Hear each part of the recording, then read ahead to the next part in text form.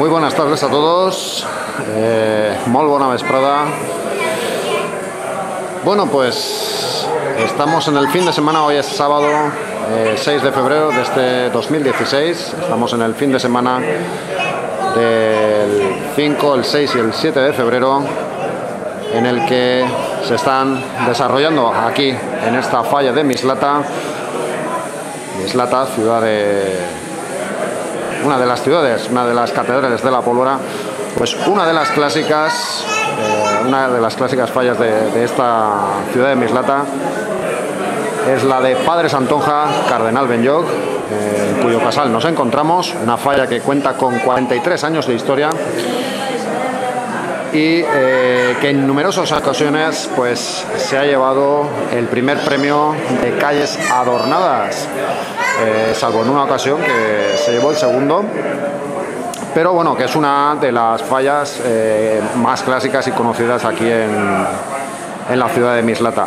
Y bueno, en su semana cultural pues han decidido pues montar una exposición pues sobre una de las cosas que más caracteriza a Mislata, ya que es conocida como una de las catedrales de la pólvora y que es pues esta exposición de pirotecnia y en el que eh, vamos a tener una charla sobre eh, la pirotecnia en la comunidad valenciana, pirotecnia tradicional de la comunidad valenciana.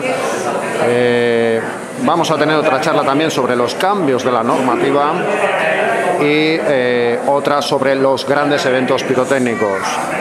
Una exposición en la que colabora pues, amigos de la pirotecnia y eh, también dos pirotecnias como son eh, la pirotecnia Yut de, Sagunto y la pirotecnia de, de Chelva, fuegos artificiales.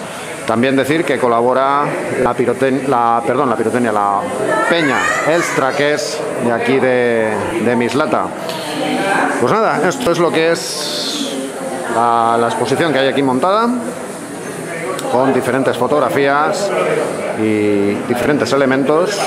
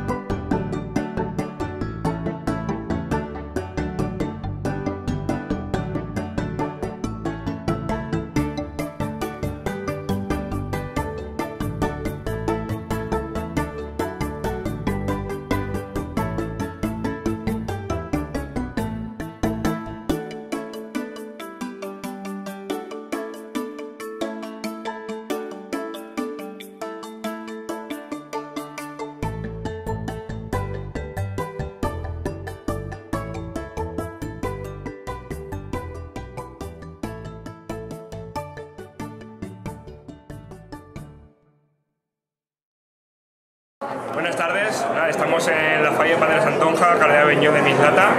Eh, Mislata, pues, como sabéis, es una de las catedrales dentro de muchos otros pueblos de lo que es el, fuego valenciano tradicional. Y estamos en esta falla, pues una falla que tiene ya 43 años de historia. Eh, una falla muy antigua en Mislata, con muchos falleros y eh, que tiene mucha afinidad al tema de la pólvora. Entonces, pues nada, tenemos aquí a Tony Martínez Ramadán, que es el, responsable de, toda esta exposición de la pólvora y nada, y no digo que coméntanos, pues no sé, eh, ¿qué, es lo que, qué es lo que ha querido tú aportar enseñando todo esto a Mislata. Vale, en un principio, en un principio nosotros hemos querido acercar el tema de la pólvora a, todos los falleros y a, toda la gente de fuera de la calle mi intención era montar una mascleta en, el casal para que la gente, porque normalmente la gente no puede acercarse, no puede ponerse debajo de una mascleta y tocarla y verla y, sentirla. Y quería montar una mascleta aquí dentro del casal para que la gente viera por dentro cómo se monta, cómo está montada la mascleta. La otra perspectiva era la siguiente. Hemos querido montar también, si venís por aquí,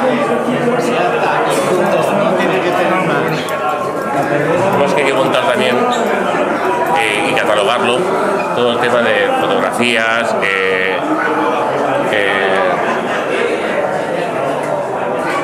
pergaminos que hacían, todo, el tema de cosas antiguas, ¿vale?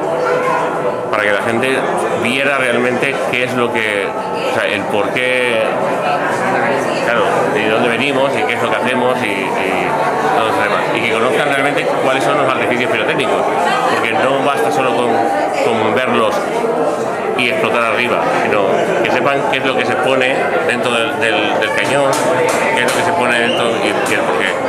Si continuamos por aquí, todo el tema de voladores, que la gente pues sepa cuáles son los calibres, cuáles son, en fin, baterías, los avisos.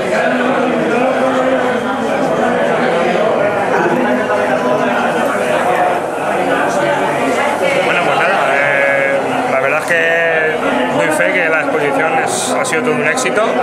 Falta un poquito de afluencia de público, bueno, ya se sabe que en estas cosas nosotros estamos acostumbrados a hacerlo y la verdad es que la gente...